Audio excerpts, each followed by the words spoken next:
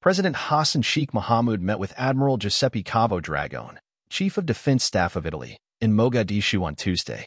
The leaders said the meeting was a major step towards strengthening security cooperation between the two countries.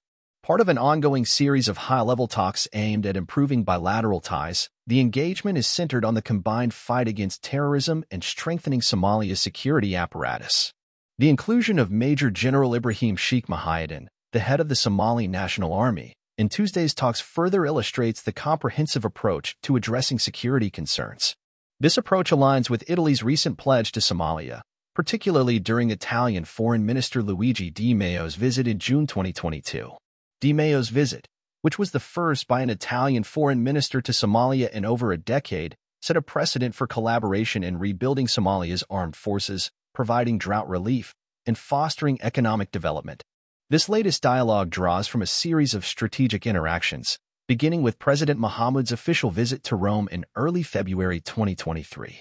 During his visit, the president engaged with key Italian figures, including President Sergio Mattarella and Prime Minister Giorgia Meloni, to explore avenues of mutual interest, such as investment, industry, and education.